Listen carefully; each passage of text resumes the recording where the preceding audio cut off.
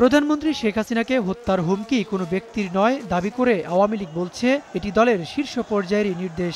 এ ঘটনায় মার্কিন দূতাবাস নিন্দা জানালেও নীরব বিএনপি। বিএনপি আন্দোলন সংগ্রামে ব্যর্থ হয়ে এখন হত্যা ও ষড়যন্ত্রের রাজনীতি বেছে নিয়েছে মন্তব্য ক্ষমতাসীনদের।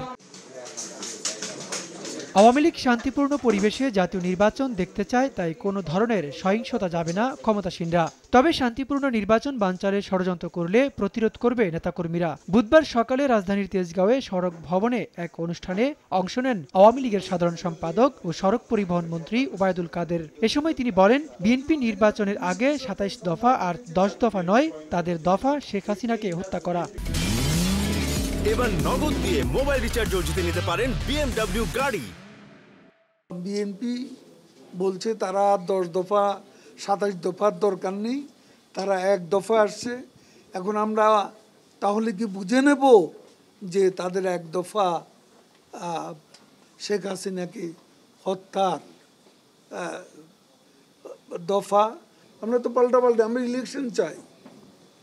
কারণ আমরা পরিবেশটাকে শান্তিপূর্ণ রাখতে চাই। সেদিন আমরা বলেছি, সেটা তাৎক্ষণিকভাবে একটা ক্ষুব্ধ প্রতিক্রিয়া আমাদের মধ্যে ছিল। কিন্তু আমরা শান্তির সমাবেশই করে যাব। আপ টু ইলেকশন সতর্ক অবস্থানেই থাকবে। আর ইলেকশন প্রতিরোধ করতে এলে আমরা, আমরাও সেটা প্রতিরোধ করব।